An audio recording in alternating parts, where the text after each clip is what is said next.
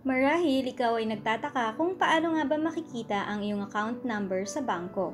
Ngunit ang problema, ATM card lang ang nasa iyo. Sa video na ito ay pag-uusapan natin ang mga paraan upang malaman ang iyong account number kung wala kang hawak na documents kundi ang iyong ATM card lamang. Let's start!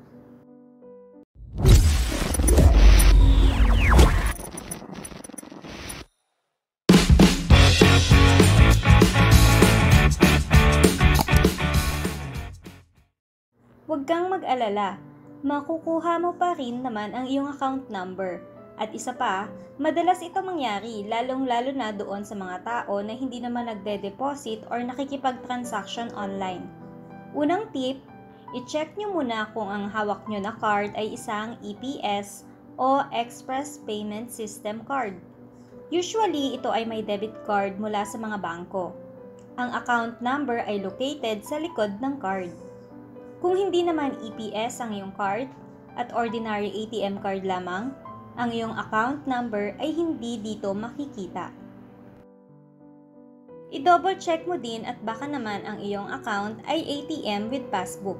Dahil kung ganito ang account mo, makikita mo ang account number mo sa passbook mismo.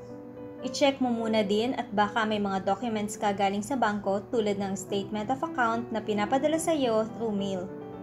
Nakalagay doon ang iyong account number. Kung wala pa rin, dumiretso na tayo sa topic kung paano makukuha ang iyong account number gamit ang ATM. Number 1. Unang option, pumunta sa ATM ng PS Bank. Kahit saan sa Pilipinas, pwede mong magamit ang teknik na ito, basta sa ATM ng PS Bank. Kung hindi mo naman alam kung saan may malapit na PS Bank, Gumamit ng Waze o kaya naman ng Google. Narito na ang steps kung paano makukuha ang account number. Tandaan, gagana ito kahit ano pa mang ATM card like BPI, BDO, Metrobank o anuman. Applicable ito. Una, ipasok ang iyong card. Pangalawa, i-enter ang iyong PIN. Sunod, pindutin ang balance inquiry. Sunod, pindutin ang Savings Account o SA. Maghintay ng ilang segundo at Viola, lalabas na ang info ng iyong account. Makikita mo sa screen ang iyong account number at sa baba naman ang iyong available balance. Para makasigurado na tama ang account number ay picturean mo na para sure na hindi ka magkamali ng kopya. Tandaan, gagana lamang ito sa mga ATM ng PS Bank. Number 2. Pangalawang option. Pumunta sa bangko personally. Itong option na ito ay maaari mong gawin during banking hours lamang.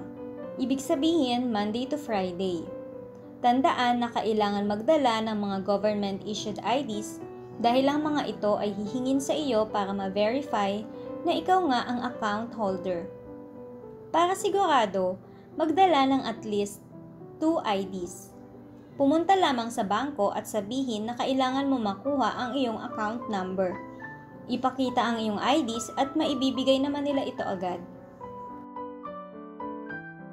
Pag-usapan naman natin ang ibang paraan at kung pwede ba ang mga ito. Pwede bang makuha ang account number gamit ang hotline number ng bangko? Posible naman, ngunit hindi makakasiguro. Usually, ang mga phone numbers ng mga bangko ay nakalagay naman sa ATM card. Kapag tumawag ka sa hotline, tatanungin ka ng mga detalye katulad ng pangalan, birthday, at madalas kasama ang iyong account number. Sabihin mo lamang na kailangan mo makuha ang iyong account number.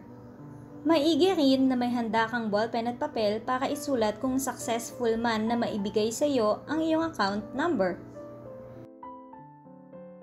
ay kung magne-message ka sa mga social media accounts ng mga bangko like official Facebook pages o Twitter accounts ng mga bangko.